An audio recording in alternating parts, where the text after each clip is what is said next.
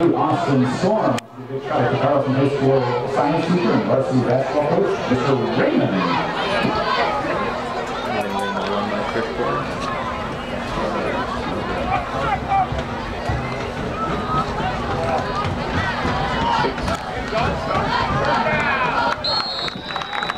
Twice short with the carry for the number nine, Logan McGraw, and now before picking up a Marauder first down, first and 10, and do it again, my friends. Falls on the 46-yard line.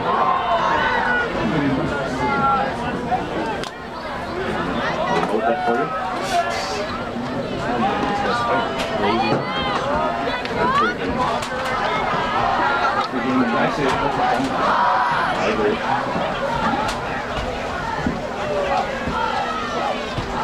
I agree. Thank you.